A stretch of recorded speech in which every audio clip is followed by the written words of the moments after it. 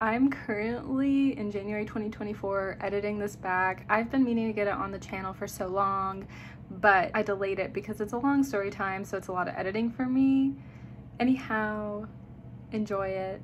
It's a good story, but the thing is the story time happened in 2019. It's like so far removed from me now, but it's really funny. In 2019, I drove out to this guy and then in 2022, mm, like technically I drove out to him. It was more of like I had to drive myself like back home because he like drove out, but that's like a separate video that I already did a story on. I never did the very first time that I drove out to him, so enjoy hey you guys we're just gonna be eating some pink cotton candy ice cream as it's melting i try to find a shady spot because no the story time is not shady i do have a story time. I feel like i've been owing you guys on the channel. I don't know why i picked ice cream because it's really hot outside. So we're gonna try to eat and tell the story as we go. But the ice cream is so good. I've been meaning to tell the story so let's get into it I could have gotten away with not sharing the story, but I was like wanting to talk about it for so long because it's kind of an iconic story that happened in my life. There was this guy I was really into on and off for a long period of a time, and that was his nickname on the channel, College Crush. It used to be Dreams Dude because I used to have a lot of weird dreams about him a few years back. The worst part about editing this video today, I had a dream about him last night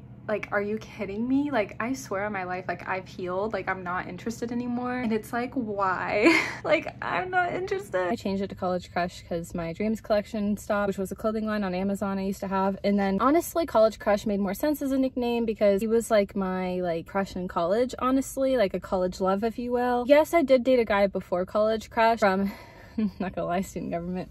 Um but it was like so short-lived. I think even being on student government being like vp like having a high role i like didn't like want to be in the public eye with like dating life. I'm just naturally like a private person but i didn't want my love life to be out there just like with professionalism and that's just also just like my personality. I'm actually typically pretty private. I share stories here and there but i never go like too into things. I'm just a private person. Even like with my family and friends recently i've been like more private and it's really nice. Privacy is bliss. Obviously like my ride or dies like my girls i'm gonna like share like the tea, go in depth about real stuff and they know like the names of the boys, but that's kind of it. I'm just naturally really private. I meant like college crush. And then I'll be honest, like quarantine boy was also kind of like another college lover. The college crush was like that first crush I had in college. Like he noticed me when I was VP and I remember at the time when I was VP, I was like, oh, how romantic would it be for like a boy to notice me? Besides the one guy in student government I dated that didn't work out, I was like, eh, no one really notices me or because I didn't really notice anyone, you know, at the time because I was like single and not really meeting anyone. I love how not much has changed and I'm still single and not meeting anyone. I feel like you just go through those times of your life. You meet someone and you date. Other times you're in a break period and that's how it was at that time. There was multiple times of my dating life though that I definitely had long breaks and that was one. There was other ones in between from 2019 to now and then now I'm definitely on another dating break again. College crush noticed me and I loved that honestly. College crush wasn't typically somebody I'd go for. He had like tattoos. He looked a little bit older. He's only a year apart from me is the irony. I'm 24, he's 25. Now that this video is getting uploaded so late, I am 25 and he's 26. But no, we don't talk anymore. The last time we talked was around the time I filmed the video and that's why I filmed it for closure. At the time, I was 20, he was 21. This is in 2019, I'm gonna preference that. And we were really young when this story time like had happened. But I'm just giving a little bit of backstory. We met um, at a banquet that I was invited to. Honestly, when I first saw him, he didn't really like catch my eye. I didn't really think he was that attractive, honestly.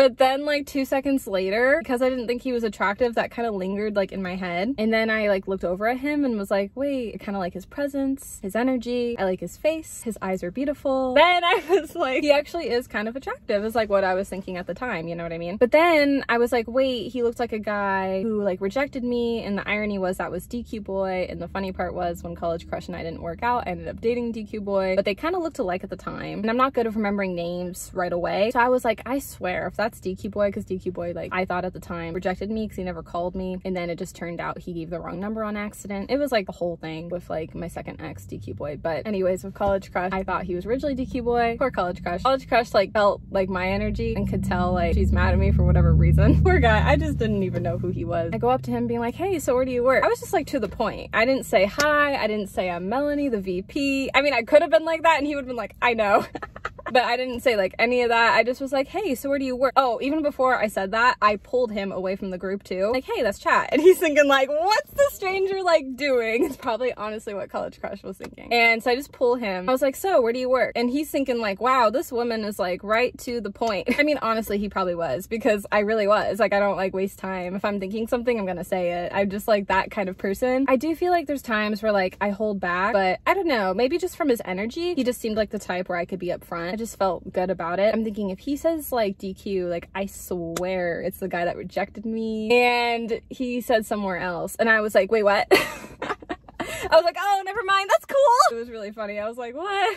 Okay, nice. It was really raining after this banquet was ending. College Crush was like, I'm gonna run and get you an umbrella. And I was like, um, you don't have to. I'm used to the rain. I've been here all my life. He like zooms out. I'm like, okay. I'm like, what's this guy doing? Brings back an umbrella. Really sweet of him. I don't even think I used it was like more for like just in case. And he did get the umbrella back at a later time. Well, the realty is because I don't know how to close umbrellas. I know, like this is embarrassing. I didn't want to ruin his umbrella and I didn't want to embarrass myself in front of a cute guy being like, I don't know how to do it. That was why I never used it. But I am used to the rain being like an Oregonian. Like he was from Washington. So, well, Washington has rain too. Doesn't matter. Anyways, Oregon has the most amount of rain, I would think, honestly. He drives like this car. Guys that have cool cars, I'm kind of like, hmm, I'll be like more flirtatious. He, I thought already had left because he was like, I'm gonna go. And I was like, hey, bye. After he like gave me his umbrella. And it turned out he was waiting to make sure I left safely. And I was like, wow, what a guy. Cares about my safety. No, but it was sweet. And so I walk out with some friends I had made. Actually met Quarantine Boy that same day as well. Officially, technically Quarantine Boy and I met at a time before. College Crush comes out of nowhere and I'm like, ooh, I'm like, oh, so you drive. So I go up to like his window windowsill and put like my arm on it. It was kind of, you know, like the classic, like flirty. And then I was like, oh, cool. And then I had to get back to the college that day because I wasn't doing too well, unfortunately. I withdrew at the time from my classes. I did it right before I finished VP. Well, because I really wanted VP like on my resume, honestly. And I worked hard and I tried my best with the classes, but at the time I had a professor that was just really difficult. It was like a weird conjoined class I was in and I was worried how my transcript was gonna look because one of the profs was okay with passing me, but the other wanted to fail me. So I just like withdrew to play it safe. If they both would have passed me, I would have kept the classes. It was just too bad circumstances I was dealing with at the time. My dad had struggled with health stuff. This whole story gets like crazy in general because at the time, later that day, I had a student government banquet. At the time, I was still like good friends with my first ex and I probably would have gotten back with my first ex had I not met College Crush because I remembered around that time I was like kind of debating it and I met College Crush and changed my mind which like oh my gosh like if I go back in time like would I even change all of that? I don't know. My first ex was a good guy but it just like our compatibility wasn't there anymore. He always treated me with so much love and respect. That was why at the time I had Wade like back together not you know because compatibility wasn't there but how he treated me was great. But then I just like met someone new that I was just curious about. Now I'm lonely so I don't know if I should have like chose my ex over like College Crush because like I don't even know if that would have changed anything honestly because like my first ex and I I always had feared if we would have got back together we would have jumped into our old problems and I think we would have I think like looking back it was still the best even if it didn't work out with college crush. Anyhow that's some tea my ex was helping taking some photos for me but before that had happened met up with college crush in the library he offered to buy me coffee which I thought was sweet. I was like oh a man that drinks coffee. We actually had like the same order at the time it was like a hot white chocolate mocha. He would get almond milk I would not so I told him about my allergy. Looked into his eyes and I just was like oh my gosh he has beautiful eyes. But I was like I think I could be honest with this guy. Something about the way he looked at me was like gleaming. And I like trusted him like really early on like the first day I met college crush honestly. And that was why I felt like when I really like hit it off we both like had trust in each other really early on. I remember being like I can't put up like this like fake front of like why I asked where he worked and everything. And I'm like I don't know if he likes me or not. And I'm like I don't even know why I like him. Like I was like what's wrong with me? He just didn't seem like my typical type. He was kind of manly looking just different than what I would go. I go for like the young kind of like Justin Bieber hair look kind of boy. He kind of had like that hair but like his face complexion was very like country looking very manly different. Not like he wasn't cute because I thought he was but it was just different than what I had typically went for in the past. Even my friends even my girls will be like yeah you typically don't like boys like that kind of look. I'm like I know right? No even my childhood best friends were like yeah no. Like they were literally like Mel this guy is like typically not your type I'm like I know! I mean at the end of the day it's really just about personality. I feel like that's just what it goes to show. That's what I've learned being an adult. When I was in high school I'd always be like you gotta be cute or like no. But I feel like the older I've become like I've really had to appreciate the personality. And that's important. At the end of the day you want to be with someone that has a good heart right? I look into like college crush's eyes and I'm like hey like can I tell you something? We were starting to open up about like life and stuff and he was like yeah sure. And then I told him the honest truth about the reason why I asked about your job is because I thought you reminded me of someone. Rejected me that I thought was really cute. And then after like that came out of my mouth I was like I was trying to make it like, oh, I thought this other guy was cute, not college crush, because that was me trying to like hide the fact. I remembered being like, what did I just say? I remember just being like, did I just say this guy was cute without saying he was cute? I was like, I totally said that. And then he was like stunned, quiet. I'm thinking, oh my gosh, what did I just do? I'm like, I thought I played it so cool. I'm like, what is going on? He was quiet for a bit and I'm like, shoot. I'm like, I'm gonna get rejected. I'm like, you know what? He's not even that cute anyways. I'm like, you know, let's just have it. Come on, reject me, boy. I was like, let's go. I'm ready to get this done. And he ends up doing the polar opposite and was like, um, I have a confession to make. And I was like, what? He was like, I've actually had a crush on you for a little bit. And I'm like, what? I'm like, you don't even know me. He's like, I've seen you around school though at events and stuff because he would like work for the paper. He would do like press stuff and he would just like hide and look at me but he'd be too shy to talk to me. And i'm like what are you talking about? And he was like oh at one of the events like i knew exactly what you wore. I was like yeah right. I'm like what did i wear? Answer was all white. Pretty obvious and easy but i was just like if he really likes me i don't know. And he said you were all white. And i was like I was like, oh, wow, you actually have had a crush on me. I was like, what? I was like, I didn't even know you existed.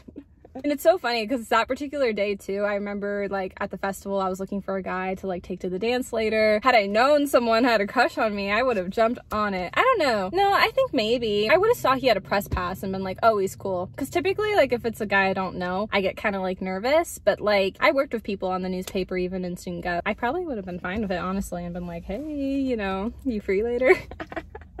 oh, my flirting is terrible. After the student government banquet that night, college crush, quarantine boy, and another guy in our friend group went to this other festival, and that was a lot of fun, I remember. And then the car ride at the time after like we dropped off our other friend was just me, college crush, and quarantine boy was in the back seat. And it's so funny because at the time, like with my dad going for some health stuff, I kind of was just like spacing out. I remembered the car was oddly quiet. I mean, both boys thought I was cute, and I ended up dating both of them at different times, so it kind of made sense. But at the time, I didn't think anything of it. I'm like, why is it so quiet in the car? I'm like, oh, they both think I'm cute. I'm the problem. I feel like that was really it, honestly, because some tea that quarantine boy filled me in later on, both of those boys were waiting for me. We were all friends to start with. That's the thing, you guys. Finishing up with the ASG banquet. And it's funny because at that point, my first ex had already left. College Crush made it very clear to quarantine boy, like, hey, I'm into this girl. And quarantine boy was like really sweet and respectful of it. He's not like one of those type. Quarantine boy is like a golden retriever. He's not like one of those macho type of guys. A little bit more like my type, like looks wise, young, preppy, kind of, yeah. Quarantine boy was just opposite personality of college crush. College crush was really like outgoing and out there. Quarantine boy was like shy to himself. Sometimes I'm a mix of like both of their personalities and I think that was why I liked them both at different times in my life. Quarantine boy was like really respectful and cool about it and like didn't try to do anything, which I really appreciated. And I remember being like, wow, what a guy when I found out that information later. I appreciated quarantine boy like giving me that chance to explore that connection with college crush, not interviewing. And then, you know, college crush and I didn't work out. And then like quarantine boy and I had a chance and it was natural and it was never like this fight with me. And so I did appreciate that. It's just funny how I ended up dating both those guys at different times. Multiple times at different times too. Ugh,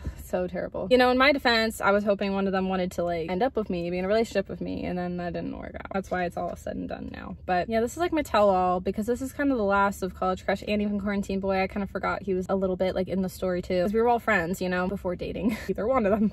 After Quarantine Boy got dropped off, then College Crush was talking up a storm. Uh-huh, Mr. Talkative. Uh-huh. So we still hung out and talked. He wanted to kiss me that night of, and I was like, whoa. I was like, I don't really know you that well. College Crush was sweet. He did take it really slow with me. One time him and I went on like a pool date. I just let him kiss me on the cheek and he was respectful about that. But then finally him and I went out to the movies. We ended up kissing after the movies. That was like the first kiss. After College Crush and I had our first kiss, I realized like I really liked him and wanted him to know I really liked him. I drove out of state for a boy twice technicality even though that's a separate story time. Go watch my buffalo wild wings mukbang because i talk about like the vancouver story time. The first time around i had to go to like a city further a little bit from vancouver kind of in the middle of nowhere so it's like a smaller town because Vancouver's like a bigger city. So that's a whole separate video if you want to go watch that. One day I was like, you know what? I'm going to drive out of the state. I'm going to do it. I want to show College Crush I like him. I got on the freeway, went to his place. I was literally excited GPS, like texting him being like, I'm 30 minutes away. And I was like panicked. I was there, of course, during rush hour and scared of anxiety. I turned on Charlie Puth. He's my favorite musician. Then I felt like so much better. love Charlie. Mwah, Charlie. Charlie just had a concert and in the past I would have totally went and I'm so sad he like won't come out to Oregon. I drive out of state. I come to his place. Apparently later on College Crush told me that his siblings knew that he changed three times for me and he was nervous because I kind of was like, College Crush had like a hard time like confessing his feelings for me at the time. That's just like kind of how the guy he was. Guys have a hard time with like feelings, I think, naturally. They're just not always like mushy, but it depends. Some guys are. And I can understand he wouldn't like say that he like had really loved it or he wasn't like super mushy. So I was kind of worried, oh no, was this too big of a gesture? When I ended up being in Florida, I was like, did he even want me to be there? Da -da -da, texting, you know. And he was like, yes, like my siblings knew I was changing multiple times and it was this whole thing and it was cute. At the time, I drive out to him in Washington. He was like playing with like his siblings, which I thought was cute that he had a special bond with his brother and sister. And his family was lovely, by the way. But I didn't know I was gonna meet all of them. I'm like, what do we do? He's like, there's not really much to do. He's like, you can meet my family. I'm like, are you sure? Are you okay with that? Because the siblings, I could tell were a little shy. He's like, yeah, sure, you're good. So he introduced me to them because then I was kind of shy. They were really sweet. They asked a lot of questions. I met his mom as well. And his mom could tell I had a big crush,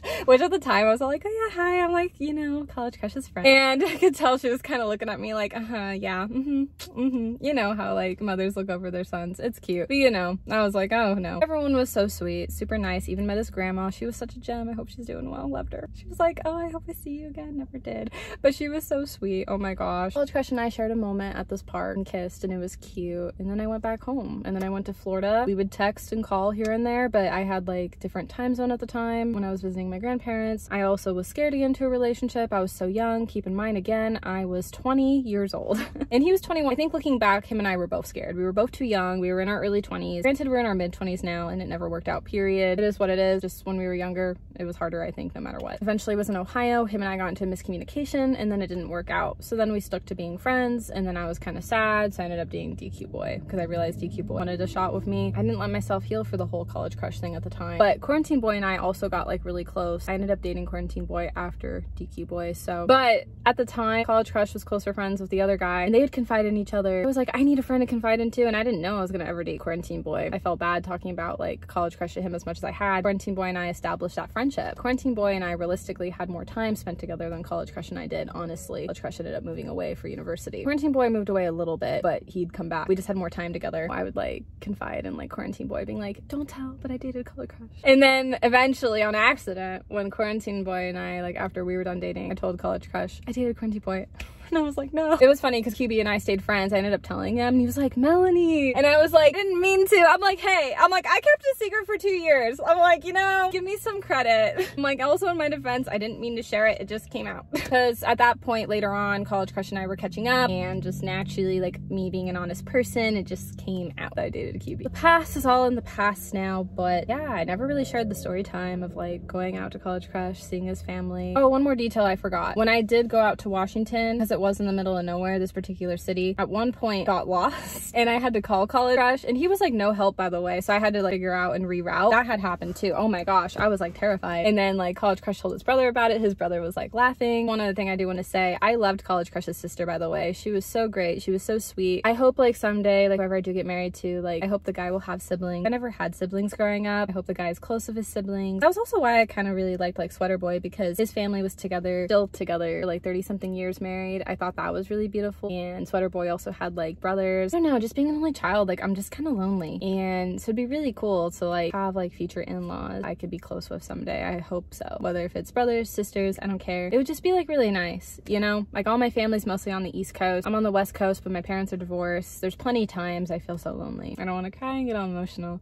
but it's true, unfortunately. College Crush and I are like not in touch really anymore. I wish him all the best. I also wish Quarantine Boy all the best. Quarantine Boy and I last saw each other. We went to karaoke together as I've talked about. And I don't know if and I will hang out again unless if it's like friend group stuff, sure. But other than that, probably not. So I always will wish QB nothing but the best. And the last time I saw College Crush, June of 2022. I wish him all the best as well. I think of all the history that's built up with both those boys over the years, I'm like, why does it still affect me? I realized like because it all happened again all in this recent year, I can't be too hard on myself because it's recent and I'm just trying to like move forward. Honestly, things are going much better now and I think it will continue to get better honestly i have dated other boys too and that's helped as well because now I have that healing to do. That's kind of where everything is all at. A huge weight off my chest. Never expect to share so much tea but here we are. I am sweating you guys. I'm gonna head out. I hope you guys enjoyed this like story time and I will see you guys in my next video. Bye you guys. I love y'all. Also this is like the saga ending with the whole college crush QB. Love triangle if you will. I don't know. It's the end of the era with Quarantine Boy and CC honestly.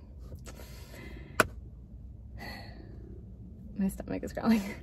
when a chapter ends a new one begins. My life's just crazy and i feel like it's just gonna keep getting crazier just because like that story ended and that crazy time of my life is over. It doesn't mean that it's over. Like there's gonna be more craziness. There's gonna probably be more dating stories. There's probably gonna be other guys that hit on me. I'm just gonna be like eh. you gotta have the right delivery. Honestly the last guy that i thought was really cute was this guy i met at the gym and it didn't work out and i thought about him like nonstop which like that's like so annoying. One more thing. I actually did tell this new guy at karaoke night when him and i had a moment and like opened up about life. At that time like college crush officially took me off social media. I was like telling this guy like yeah not gonna lie like it sucked you know? Because he opened up to me about like his last relationship and i could tell it was hard for him. And i was like well i'll open up about someone i liked as well. And i mean keep in mind qb was like with me that night and i was like oh no. Well i didn't know my crush was gonna be there. My crush was kind of wishy-washy with going. Then he was really cool and understanding and it was like a refreshing conversation like my crush and i had honestly at that time. Sometimes like you can't help it and like think about it ex like you're healing it's hard it's rough. And i was like oh like this guy so much. I'm like, he's so cool. But until he sees it, I will catch you guys in the next video. Bye, guys. Love y'all. Hee hee.